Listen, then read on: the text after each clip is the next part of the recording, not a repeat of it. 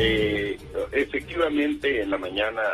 el presidente expresó su satisfacción por eh, la aprobación eh, de la Guardia Nacional el día de ayer por parte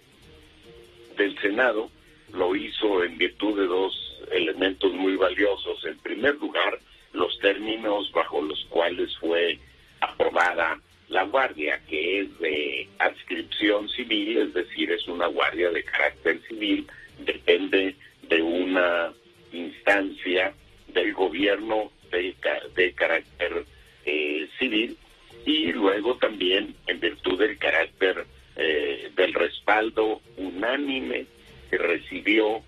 eh, de las y los senadores lo que lo convierte lo que convierte a la guardia la aprobación de la guardia en una decisión eh, francamente de carácter histórico, Pepe, porque es muy difícil lograr este tipo de consenso en temas tan eh, controvertidos. Y efectivamente, Pepe,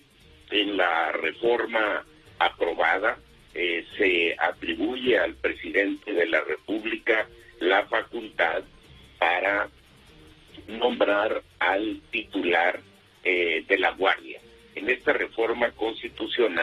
no se establece eh, ningún eh, requisito. Se deja eh, esos requisitos, vamos a llamarle secundarios, características, perfiles, condiciones, requisitos que debe cumplir él o la titular de la Guardia para una legislación secundaria, para la ley de la Guardia Nacional. Consecuentemente, en este momento no hay absolutamente ninguna restricción para que pueda ser un civil, un militar o un marino en, eh, en activo o retirado. Eso es lo que, es lo que te, te, interrumpo, secretario, es lo que nos llama la atención y por ello el interés de esta entrevista. ¿Cómo entender lo de la Guardia Civil que fue aplaudido, por todos los partidos políticos, por las organizaciones no gubernamentales, en fin, porque desaparece la figura del mando militar. ¿Cómo entenderlo si ahora el presidente está diciendo que él tiene la facultad de nombrar al titular, que puede ser, desde luego, un civil, pero también un militar, en ejercicio o en retiro? En esta ley secundaria que habrá en su momento, no se puede por ahí colar, colar de contrabando el tema de la presencia militar de manera evidente. No, no, por supuesto que no, Pepe, porque la condición de un titular no modifica la esencia constitucional de la Guardia eh, Nacional. Pudiéramos poner el caso, los ha habido, de generales que llegan a una gubernatura y eso no modifica el carácter civil de la eh, gubernatura del Estado sí esa condición se refiere más a la persona que a la naturaleza de la institución. Pero en última instancia viene todavía una segunda eh, etapa, que es la eh, presentación de la iniciativa de ley para de la Guardia Nacional, precisamente que está prevista en la reforma constitucional de ayer, que tenemos que presentar eh, 60 días, a más tardar eh, 60 días naturales después de que se publique la aprobación de esta reforma. Conclusión, eso no, no, eh, el perfil del titular no modifica la esencia jurídica de la Guardia Nacional. Además, sería entendible si va a tener, claro, por supuesto, una disciplina militar eh, con una eh, función policial, de, seguridad pública, etcétera, para servir a la sociedad y frenar la, la, ola de delincuencia catastrófica, pues se entiende que tiene que haber mandos. Y estos mandos deben de tener experiencia. ¿De dónde van a salir los mandos civiles con experiencia comparados con los mandos militares con experiencia? Formar a un mando militar no es de la noche a la mañana. Eh, totalmente de acuerdo, Pepe, has, tomado, has tocado un tema eh, fundamental. Hay varias características de lo aprobado el día de ayer que homologan a la Guardia Nacional con una formación, una capacitación, una jerarquía, un adiestramiento militar e incluso se plantea que las prestaciones de carácter social de los integrantes de la Guardia Nacional sean homologados a los que tienen los militares, porque las prestaciones sociales de militares y marinos son bastante más altas, por ejemplo, que los que tiene la Policía Federal. Igualmente, la disciplina, la jerarquía eh, es mucho más sólida, es de hecho una de las grandes virtudes del ejército y de la marina, que si bien está presente en la Policía Federal, no tiene la fuerza que tiene en estas instituciones. El tema de los mandos es todo un tema. Un mando, eh, eh, hoy en la mañana mencionaba el general secretario eh, Sandoval que formar un mando de coronel puede llevar 20 años o más, eventualmente y consecuentemente para una un ente administrativo como la Guardia Nacional que estimamos pudiera tener alrededor de 150 mil elementos en el transcurso de cinco años, eh, bueno, pues se va a necesitar una cantidad de mandos eh, tal que nos guste o no, Pepe, solamente están presentes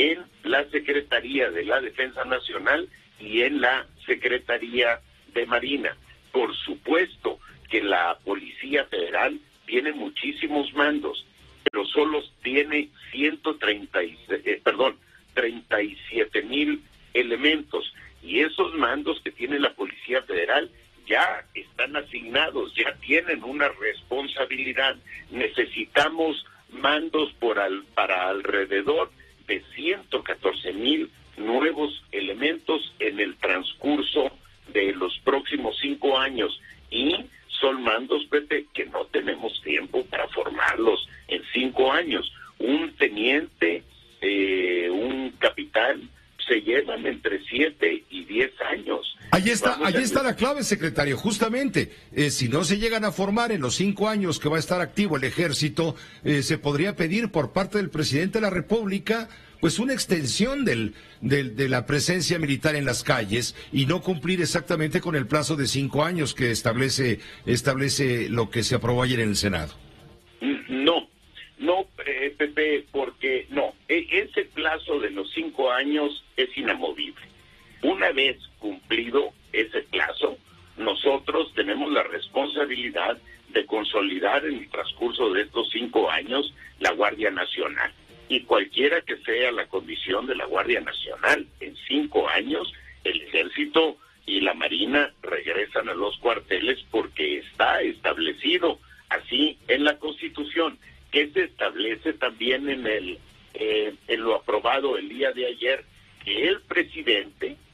puede mover del ejército y de la marina a personal eh, por decreto estableciendo determinadas condiciones para que presten sus servicios comisionados en la Guardia Nacional. Este personal que llegue comisionado a la Guardia no va a perder sus derechos, su antigüedad, eh, y podrán regresar años después al ejército o a la marina y continuar su carrera como si no la hubiesen como si no hubiesen estado comisionados en la Guardia eh, Nacional. Esto tiene el propósito de incentivar al propio personal militar a aceptar la condición de comisionado en la Guardia Nacional, cuando menos en esta primera etapa, en tanto la Guardia Nacional tiene su propia dinámica o genera su dinámica propia de generación de, de cuadros, de mandos, y esto se va a llevar algunos años más que los cinco primeros que nos hemos propuesto para construir la estructura eh, administrativa, policial, eh, presupuestal, eh, legislativa que va a sustentar a la Guardia Nacional. Pues vaya, vaya asunto complejo sin duda, no en balde este debate álgido que se dio en las últimas semanas sobre este tema de la Guardia Nacional resuelto ayer por unanimidad en el Senado de la República, claro, generando algunas inquietudes como las que me he permitido preguntarte eh, ante estos micrófonos de Grupo Fórmula en este momento. Pero leía un comentario de Alejandro Ope en el periódico El Universal diciendo que si tan solo le hubieran cambiado el nombre a la nueva por el de Guardia Civil o Guardia Territorial, etcétera, hubieran creado todo esto en términos similares a, eh, similares a los que acabaron plasmados en el dictamen, sin necesidad de reformar a la Constitución y sin desgastarse en una negociación. No, bueno, es, me parece, con todo respeto, una superficialidad, porque tú no puedes cambiar la, los términos de un ente administrativo cambiándole solo el nombre. Atrás, el nombre representa algo, por supuesto, pero atrás del nombre hay una serie de definiciones, en este caso de carácter constitucional, eh, que no las que no se modificarían por el solo hecho de ponerle otro nombre. O sea, no, no, no, no, me parece francamente eh, superficial, lo digo con todo respeto para Alejandro, a quien particularmente respeto, pero en este caso, por supuesto que difiero, Pepe. Y efectivamente es un tema complejo, pero viable. Tenemos mucho tiempo ya trabajando en el tema de la guardia y estamos, eh, la próxima semana tendremos ya el planteamiento,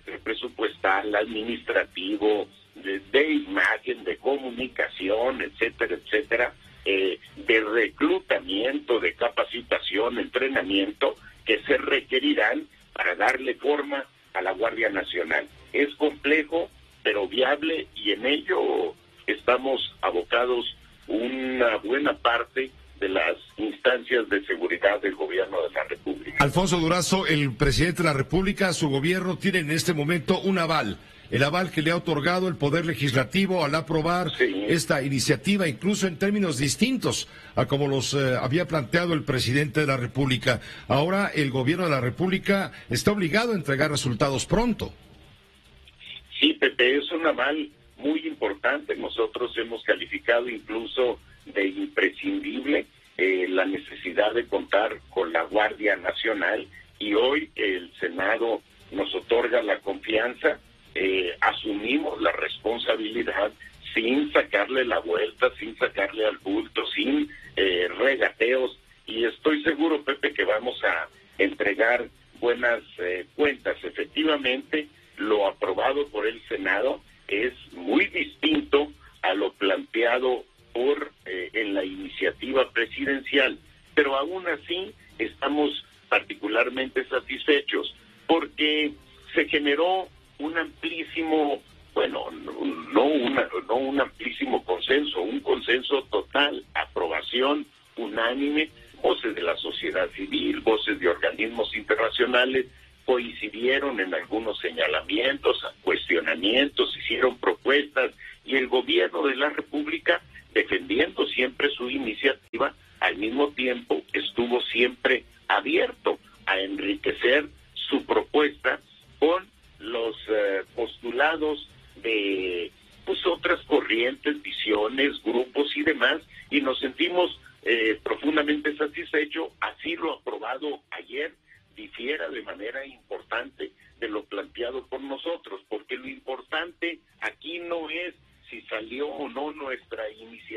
es si lo aprobado representa un instrumento adecuado para cumplir con la responsabilidad de garantizar seguridad a los mexicanos. Y creo que ese,